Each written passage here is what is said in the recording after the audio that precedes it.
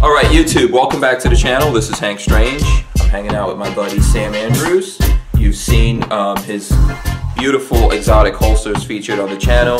Today we're gonna do a quick how-to video of how do you make a specific Sam Andrews holster. We're gonna our gun that we're gonna use is the Glock 19. I'm gonna turn everything over to Sam and he's gonna walk us through it. Thanks for having us, Sam. One of the things I'm asked most frequently is how do you make these things? And how does it go from raw material to finished goods? And there's no great secrets in leathercraft. In two days, I can teach anybody all the basics of leathercraft. After that, it's practice. You start out with just sheets of cowhide. Now, this is going to be a little bit of a time warp because the real duration in making one of these holsters is about three days because there's lots of drying time, finish curing time, things where you don't have your hands on them. So this is the highlights. There's two methods of cutting out the leather. On the things that I make a lot of, I'll have a clicker die made, it's kind of like a cookie cutter for leather, sharp on one edge, and these all have to be made to my patterns, so it's costly. And I only do it for things I'm building a lot of. Okay. You place it on the leather, and when this machine is turned on, which I'm not going to do because it's very loud and you won't be able to hear me speaking, mm-hmm. the machine head swings over, it's hydraulic, and it punches down with tons of force and just shears out the shapes. Okay. What we're going to do today is a hand cut, which is still most of what I end up doing. I've got the pattern here for the Glock 19 basic pancake style holster. Pancake style. So this is a pancake style, which is going to be outside of the waistband. Exactly. Okay. I have to, in my catalog, I call it a saddle style because the word pancake is copyrighted for holsters. I couldn't use it for Okay. but So in, so if anyone's looking at this online, it's going to be saddle style. saddle style. Okay. Because it fits two sides like a saddle on a horse's back. The back is smaller than the front because when it's all made, you want enough bunched up leather to create the gun pocket. Mm-hmm. Uh, if it was two equal parts, when you put it on, it's going to tighten over the weapon to the point where you have a hard time getting it out. This is the tough part of any kind of holster making is creating the patterns. That's what took me years and years and years of practice and trial and error with heavy emphasis on the error part. So I've thrown away reams of paper. We trace it out, mark where the slots are going to go for the belt, and then I make my little stop and start marks for the stitching so I don't overrun. Traditional leathercraft, they teach you to cut with a head knife or a straight knife, and it's usually drawn toward you. Mm-hmm. Very hard to control, mm-hmm. can't take turns, and you have to keep going over and over the same cut multiple times. With this that I locked onto, the knife goes through in one easy slicing motion, and the point of the knife is not hitting the hard surface of the table, it's going into the carpet. If any Like budding this. holster makers out there, go down to the carpet market and grab some scraps and it makes life very, very simple. Oh, and safety tip, always cut away from you. A lot of people I show this to, they, they try and turn their wrist to go around the corners and you lose control and if you do slip, which does happen, you don't want the blade coming back toward you. The next thing is to line the holster because if I leave it raw leather inside, it's going to tear up a weapon and even a tough finish like a Glock, I don't want to do mm. that to it. Two linings I use. Okay. The common lining is a suede lining, soft suede. The Okay. cowhide's been finished differently. Oh, it's a different nice. Tanning method. Mm-hmm. Or some people prefer a smooth leather lining. Oh, and that's okay. really just customer choice. And you want to, A, check you don't have the grotty side where it's going to show. Because on hide you'll have a good side and an ugly side. Now we're going to glue it to the ugly side, which has, you know, some scars and things, so Mm-hmm. that what shows will be the pretty. Okay. The lead just holds it in place while you trim out. the That's some serious lead. Had that since I started. You cut out your lining with a good bit of edge because later when we trim it, you want something to hold on to. And we glue them together.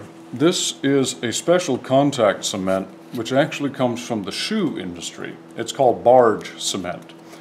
And it is so incredibly strong when the bond dries that you'll tear the material rather than the glue bond if you try to take it apart. So you put the glue on both surfaces because it actually bonds to itself.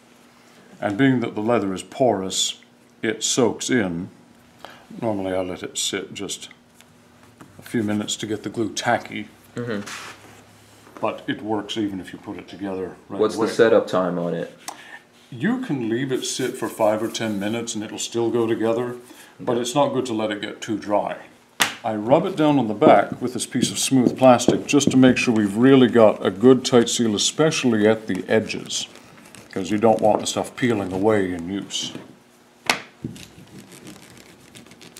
You can see the edge sort of appear as a shadow through there. That lets you know you've got a good seal on it. And I take it just off the edge of the table so I can put the blade through the suede material. Okay, and this is where you needed the extra to grab onto. This is why I have some edge. It is important to keep the finger away from where the knife is coming through, though I do keep a good supply of band-aids in the shop. Now the lining is inside and ready to be stitched in place. I stitch it along the edge because over years I wouldn't want to trust the glue by itself Absolutely. to hold everything down. Okay. We prepare for that by using a groover. It's a saddle maker's groover. This has an adjustable width cutter. And you have a little tiny hole in the edge there, which is sharp on the inner end. And so it creates a groove for the stitches to lie in. Not only does it act as a guide, but it gets the stitches below flush so they're less liable to be worn off in use. And the next is to sew it on the great big ugly Machine. messy sewing machine. They're beautiful. Now, they were made in the days before sealed bearings, so they require a lot of oiling and a lot of wiping down. And it's got the needle upstitching through the pre-made hole. Many different colors of Okay. thread, especially when I'm doing the exotic materials, Okay. because we want to match the color to Oh, okay. it's being sewn on. This thread is a bonded nylon. The bonded part means it's sealed to be chemically proof against ultraviolet, oils, solvents, etc. Just raw nylon can rot over years of use. There we are. I use the longer needle-pointed knife so I can get down in the hole with the thread to trim it off. You don't want frilly ends of thread sticking out, just doesn't look very professional. So the end result here, it's bonded by glue and thread. It's bonded, it's stitched, it's never coming apart. Right. Well, as you see, this edge is very, very square. Not only is it not very pretty, but it's going to catch on things. Now enter the bevelers. These are little V-shaped tools which are sharp on the inner edge. They come in various sizes. This is a 3, this is a 5. And what they do is they cut a round edge on the material. Now we have this all beveled, the edges are rounded, but they're still a little bit rough. So the next step is to slick the edges, which is done in two steps. Over here, I made a slicking bar for this grinder motor by shaping a piece of aluminum with various grooves. You wet the edge very thoroughly. You can make holsters with five or six basic tools. It doesn't take a great deal of cost or expense. The automation helps when you're doing 100 holsters at a time. Give these a little more dampening and then we go back to the workbench where I do the hand slicking part. Again, highly technical. Just take an old smooth tool handle and you give it a further rub down. This is where you get that really hard mirrored finish to the edge. Okay, it's almost like polishing your shoe leather. One of the best benchmarks for good leather work, as opposed to more mundane, is pick it up and feel the edges. Mm-hmm. A lot of mass-produced holsters you'll pick up have rough, raw edges. Mm-hmm. And that just means they're cutting corners and they're not spending the time that they should be doing to get them absolutely slick and glassy smooth. Right. Oh wow. Yeah, that is glassy smooth indeed. And then because you mushroom the edge a little bit when you're pressing on it, I again take the, the smooth plastic and I just flatten it out. The next thing is to put in the slots for the belt loops. I wanted a slightly wider slot than the old narrow ones I used to use. It's easier to put a heavy belt through the wider slot. So I've drawn the holes for the slots onto the holster, and I look down through the top of the punch to align it with my pen marks. Not sure if you can see that inside with the camera. So I line that with the pen marks, and then I take my very heavy mallet and apply it briskly.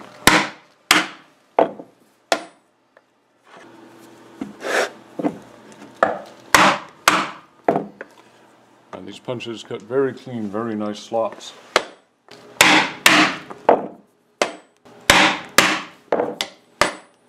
Okay, it's ready for the next stage, which is I put my maker's stamp on the back. I just have to dampen it a touch.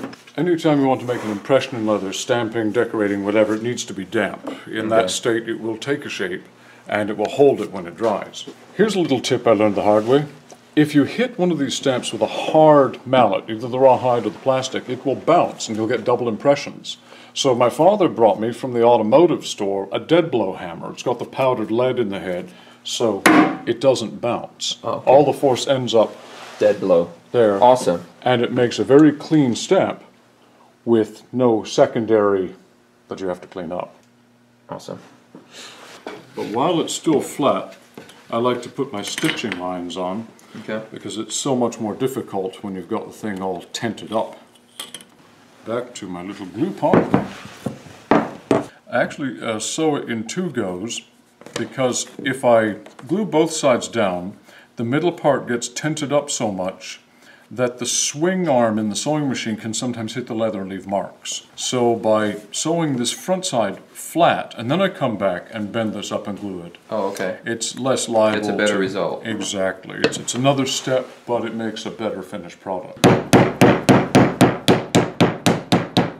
Another dead blow hammer and this old anvil make a great combination for really having the pieces that you've glued sealed together well because you don't want them shifting under the pressure of the stitcher. Now we're back to our saddler's tool to make the groove and return to the sewing machine. Get that first stitch started, adjust the pressure.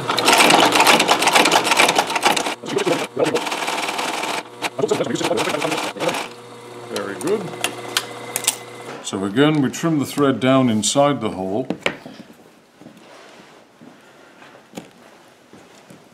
Get rid of any fuzz. And I've wet the middle part to make the leather malleable so I can bend it and tent it up to create that gun pocket in the middle. Makes it simpler to glue the other side.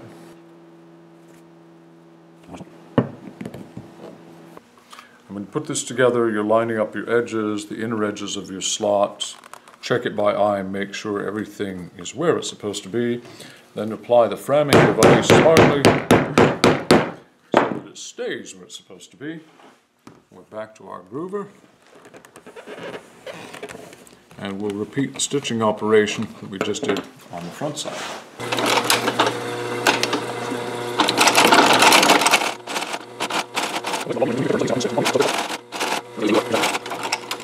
And now all the stitching operations are completed. We've sewn the edges for the lining. We've sewn the two sides for the function of creating the holster shape. Now we're back to edging. Now these edges are rough and very slightly uneven. So the very best way to true them up before the beveling is a belt sander. Belt sander. You can do it by hand. You can take the knife and you can you know carefully trim away what you don't want, which I did on a hobby basis. But it's never going to be absolutely perfect that way. Mm-hmm. So I'm going to step outside to the belt sander.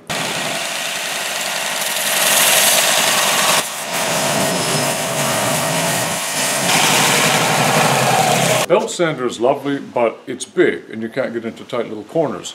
My father set this up for me. He took an old drill press and put a couple of sanding drums on a bowl, which makes an absolutely amazing little inside spindle sander to get to the places that I can't get with the big belt sander. It saves loads of time scraping away with knives and so forth. So little tight inside curves or close up to an edge, marvelous thing. Yeah, I was wondering how you got into the little close turns like that. Exactly. Very cool. Now we go back to the main table and pick up the bevelers once more because this edge is all true but it's square. Mm-hmm. So back You want to to rebevel. rounding the edges off. The most common function in making a holster or any leatherwork really is edges. You'll spend most of your time doing edges. Because everything's got an edge and they all have to be dressed, beveled, slicked, sealed. I mean, that's one of the small things that the person who buys this may not notice and they shouldn't notice. Right. They should just be able to pick it up and the smoothness is there. Absolutely. Now we go back to the spindle slicker and give it a machine slick. The secret to getting good slicking is very, very wet on the machine. If the leather's too dry, the friction will actually cause leather to come off and adhere in sticky gray blobs to the aluminum itself, which makes a very rough and unhelpful surface. So I very often re-wet it. Better for it to be wet than dry. Yes, now of course you don't want to wet it to the point where it's soft and mushy, mm-hmm. but lots of water for the lubrication, as well as softening up the leather and getting it to all lay the fibers in one direction. Now back to give it the hand slick and finish off those edges. Again, just an old tool handle makes a great slicker. And if it's somewhat soft leather, which tends to mushroom a bit, then I might press it down and then slick it again. Mm-hmm.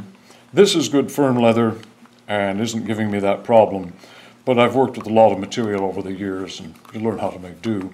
I find if you buy the very best leather in the beginning, you don't have to mm-hmm. futz with it so much. Now our holster is completely assembled as far as all the stitching, slicking, etc. Okay. From here, we're going to shape it.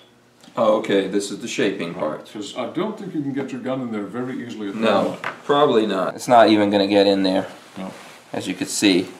So we're going to change that, right? absolutely. Okay. The wonderful thing about leather is its its plastic quality. It's ductile. It's moldable. Mm-hmm. And the way we do that is we wet it, preferably warm water. Cold water will do, but you have to work harder. Oh, okay. Warm water softens it up. So over Okay. here in the molding corner, I keep a hot plate set on very low, just warm. Mm-hmm.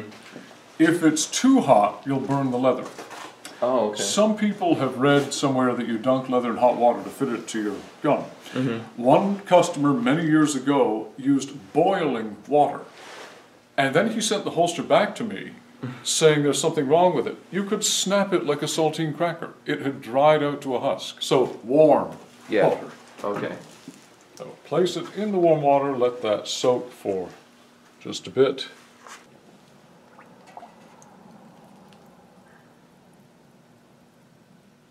Again, I don't want to leave it too long because it will go mushy. Mm-hmm. And we just want it moldable, Just pliable enough. right? Now, when you're doing a very square gun like a Glock, it helps to open the leather up with a block of wood or something, just so you don't have such a struggle getting that shape in there. Okay, and this is your Glock 19 blank, This is or the dummy of The the, dummy. Glock 19. There's a company in Bay City, Michigan, Duncan Customs, that makes these. Absolute godsend for holster makers. These are not terribly expensive, and when you're doing lots of different holsters, I mean, I must have 250 of these things. Right. It's certainly a lot less investment than the real guns. Mm-hmm. So, we make sure this bottoms out so that the muzzle is close to the end, the trigger guard fills the trigger guard pocket. Basically, leaning on it's a good way to get it down there. You don't want to hammer on it, hit it or anything because the leather is soft and you'll create dings and marks that you then can't get rid of. okay.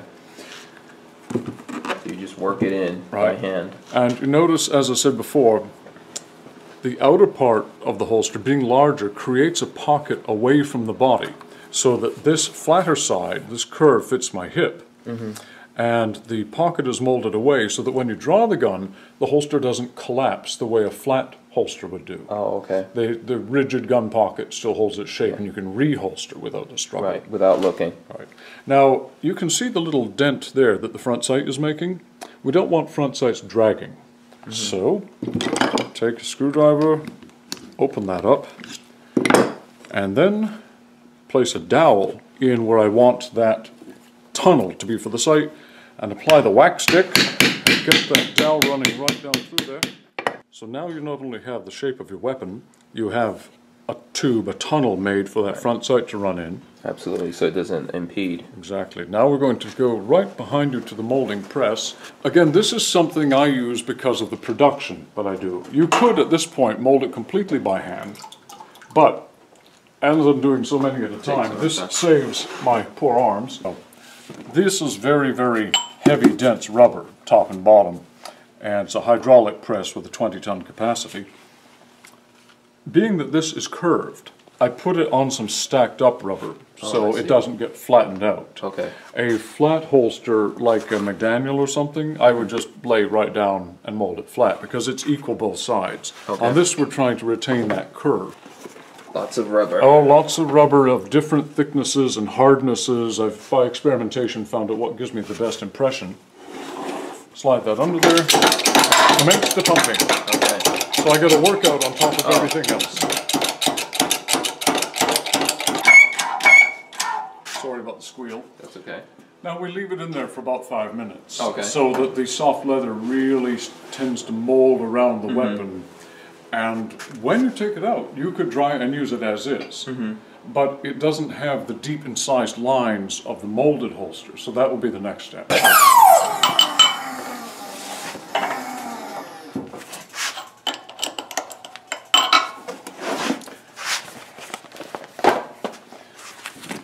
as you see, the pressure has put in the basic shape of the weapon.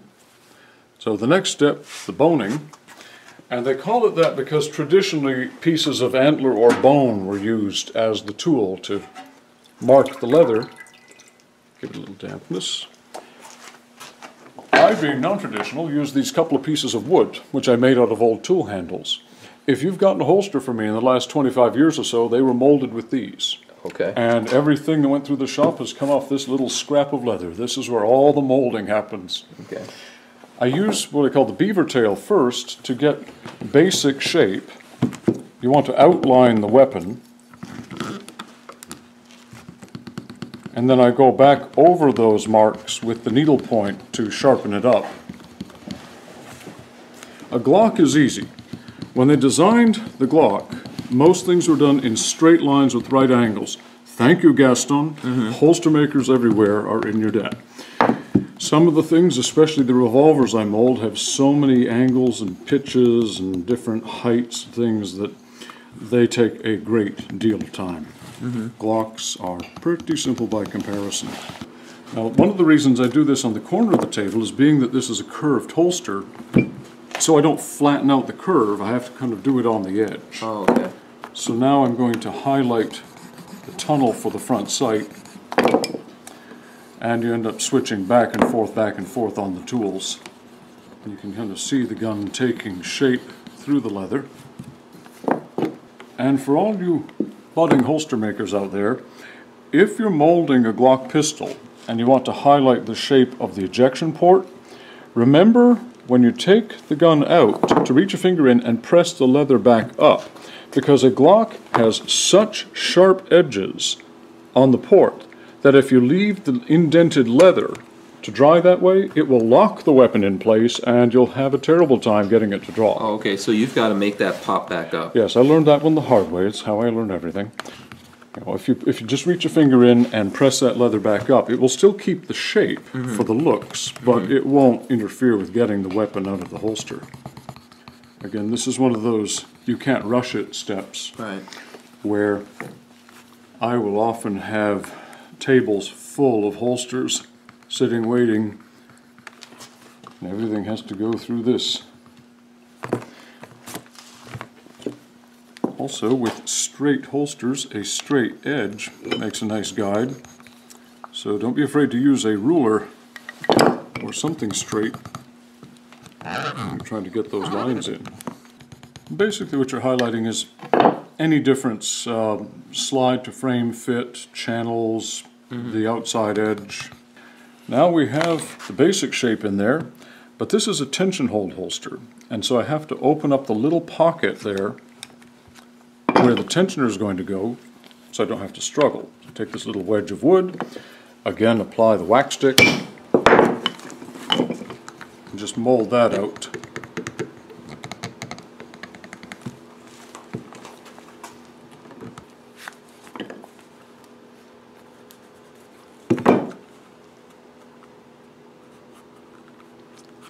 Okay, so you just brought the indentation back up. right? So nothing hangs. And now this will go out in the sun for probably a day on each side, so it thoroughly dries. You can't put on any finish, either dye or oil, if the leather is still wet, because Right. the water won't let anything dry. But at this point, it's pretty much set up. It is except for is the a holster. You, you could dry it and So wear it as it is, The Glock 19 Mm-hmm. fits in there very snugly. almost like it was made for. Now, how long does it usually take out here in the sun? If we've got good sun, a day on each side A day. will do it. Okay. It's frustrating in rainy or very cold times, it takes much longer. Right. So it is a bit weather dependent. Now, when the holster is thoroughly dry and ready for finishing, we come into the extremely messy corner of the shop. This is sort of the mad scientist laboratory mm-hmm. area. Think bubbling beakers and mixing test tubes. This is my favorite part. With, with the colors, I'm always mixing, experimenting, finding things that aren't available commercially.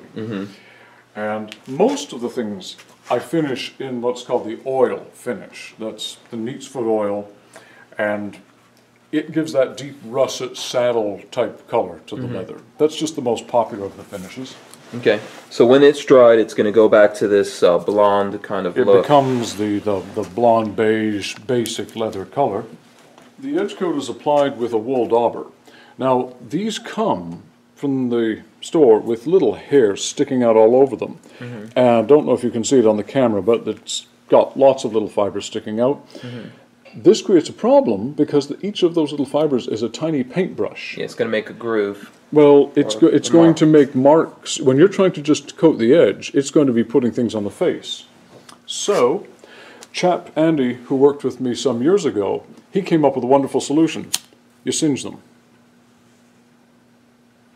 Just rotate that over the lighter, then brush off all the ash, and you've got a perfectly fiberless little ball of wool.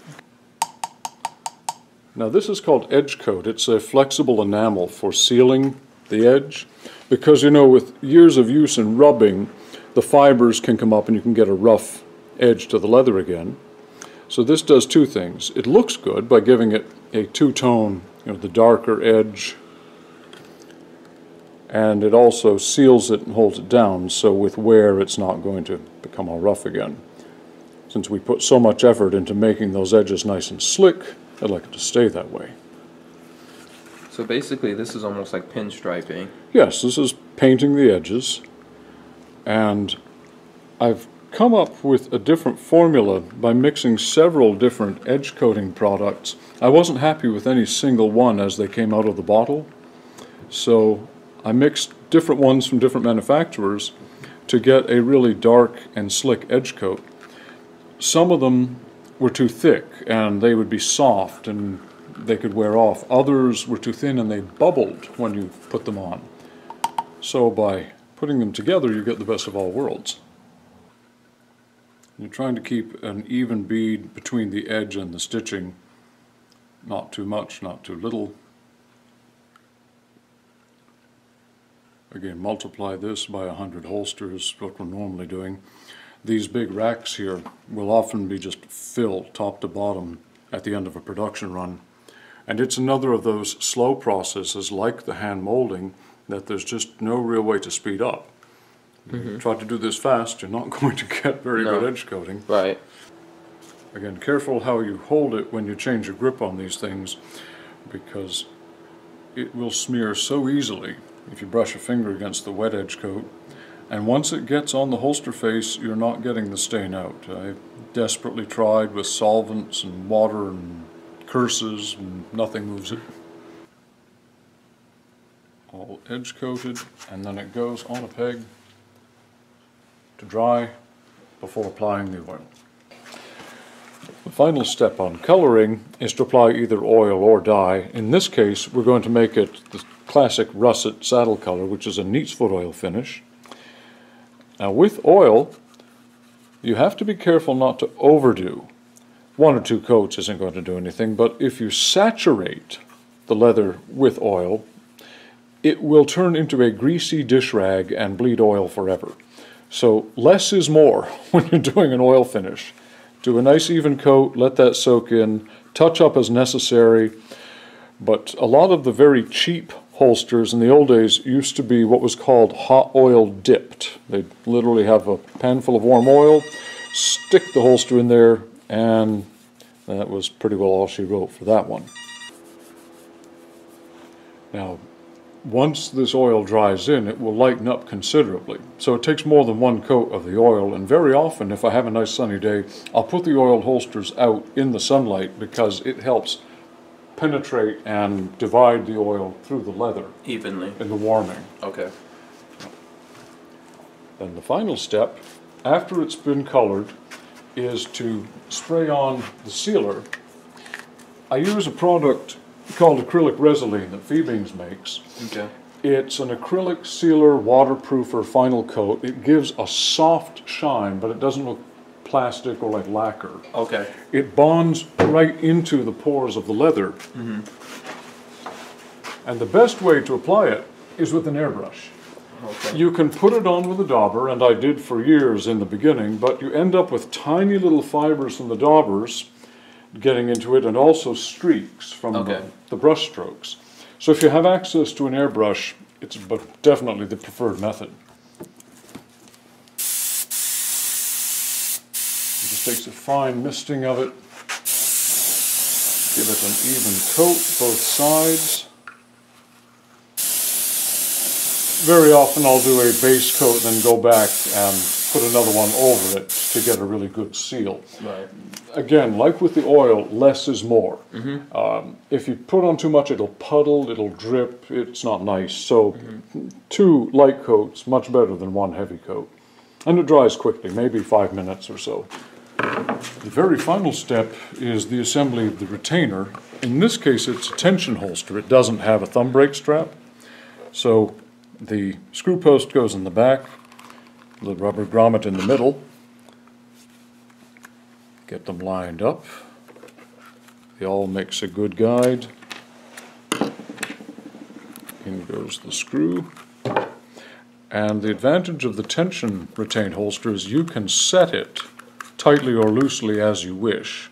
And once the tensioner is installed, the holster is fully complete and functional. Now it's ready to accept the weapon. And you can adjust the tension to whatever tightness you wish when you draw, so it's resisted just that first little bit. But otherwise, it's going to stay in, won't come bouncing out. And this is ready to package and ship to whatever lucky end user is going to wear it.